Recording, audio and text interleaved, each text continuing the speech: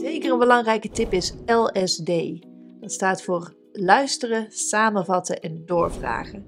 Heel belangrijk is om als procesbegeleider goed te luisteren naar wat iemand te vertellen heeft, samen te vatten wat diegene dan zegt en vervolgens door te vragen. Nou, soms dan uh, gaat het over een bepaald uh, onderwerp uh, waar je eigenlijk niet zoveel mee kan, omdat het ehm, te ingewikkeld is om het op te lossen tijdens het gesprek, dan gebruik ik vaak een parkeerflap. Dus het is een aparte flap waar je even opschrijft. En dan stel dat het onderwerp ICT is, krijgen we nu toch niet opgelost, dan schrijf je op ICT.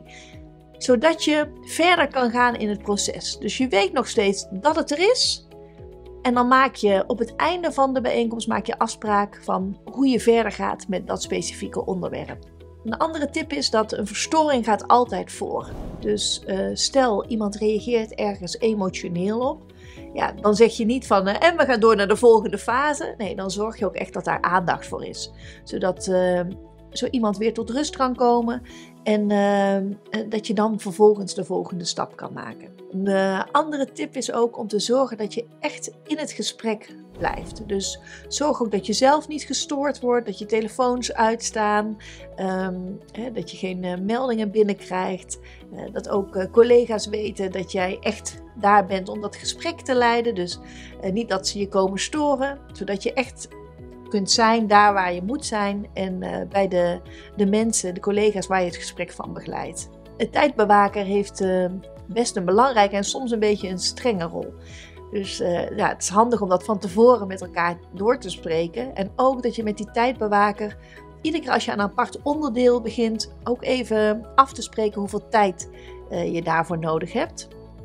En laat je dan ook begrenzen door die tijdbewaker. Dus laat diegene dan ook echt de rol op zich nemen van: Goh, tijd is op nu.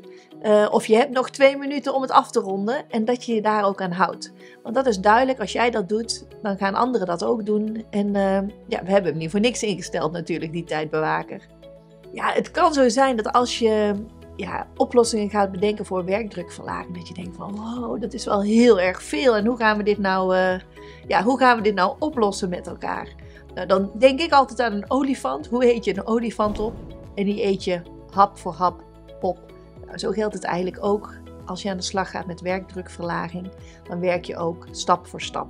Als je dan met elkaar zo gewerkt uh, hebt, je hebt al een check-in vraag gehad, maar dat je ook nog even een check-out vraag hebt. Van goh, hoe vond je de bijeenkomst? Of uh, wat neem je mee? Of uh, wat heeft je goed gedaan? Zodat iedereen ook weer de bijeenkomst kan afsluiten voordat hij verder gaat naar zijn volgende volgende bijeenkomst of les of uh, ja, andere werkzaamheden waar die mee aan de slag gaat. Ja, en eigenlijk is de belangrijkste tip is om heel veel plezier te maken.